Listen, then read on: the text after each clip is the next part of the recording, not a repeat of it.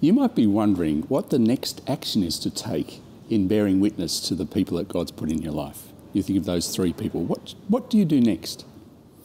Well, it's most uh, people, it's a, it's a function of your own confidence, which can vary from relationship to relationship. What's more, your friend has a varying levels of interest. And I think most relationships can plot somewhere on this graph. There's a real engineer's way of thinking about these things. There's my barista. Now, I would put my barista down here in what we call quadrant one. I'm not sure how interested he is. We have all these conversations about the, what we're doing in our lives and what, we, what our work's like. I wouldn't say we know each other well because we've got three minute sort of grabs as he makes my coffee. But I think this quadrant is a quadrant of curiosity. For me, the next step is getting to know him a bit better, letting him know I'm a Christian and what I do, and see where that goes. I have another friend who I would plot up here in, let's call it quadrant two. That's Bill. He's my neighbour. We have got to know Bill through walking the dog, and we've had them over for meals occasionally.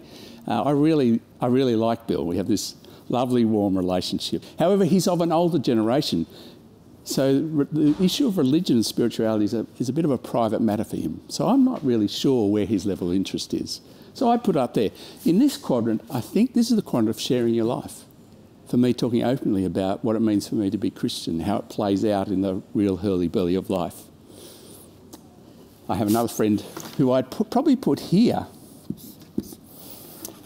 We call it quadrant three. I don't know him very well, right?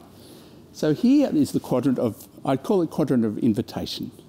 It's for me to keep feeding this guy ways to investigate. It might be a book to read, it might be inviting him to a church service, uh, inviting him to introducing Jesus. Quadrant four is a quadrant where you might be much more personally involved in somebody's investigation. You have high confidence, they have high interest, reading the Bible with them or reading a book with them.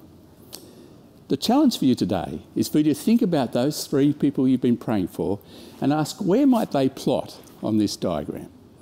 And then to think together what might be the next step for you to take to help them move towards Jesus brainstorm that together. What's the next step for you?